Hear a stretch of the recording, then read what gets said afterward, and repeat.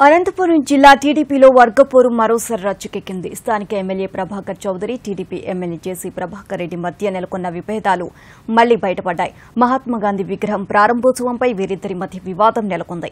నెల రోజుల్లో గాంధీ విగ్రహ ప్రారంభోత్సవంపై ఏర్పాట్లు చేయాలని లేకుంటే తామే ఆ పని చేస్తామని జేసీ ప్రభాకర్ రెడ్డి స్పష్టం చేయడంతో ఇద్దరి మధ్య ప్రచన్న యుద్ధ వాతావరణం ఏర్పడింది.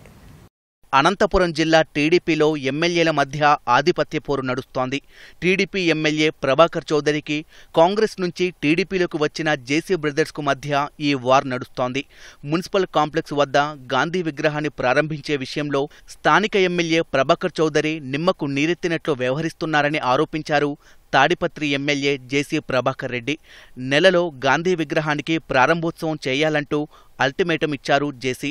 లేకుంటే తామే ఆ పని చేస్తామని హెచ్చరించారు.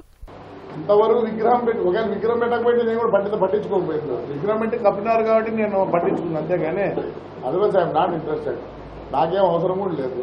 ప్రభాకర్ చౌదరికి పబ్లిసిటీ పిచ్చి పట్టిందని కూడా ఎద్దేవా చేశారు జేసీ ప్రభాకర్ రెడ్డి.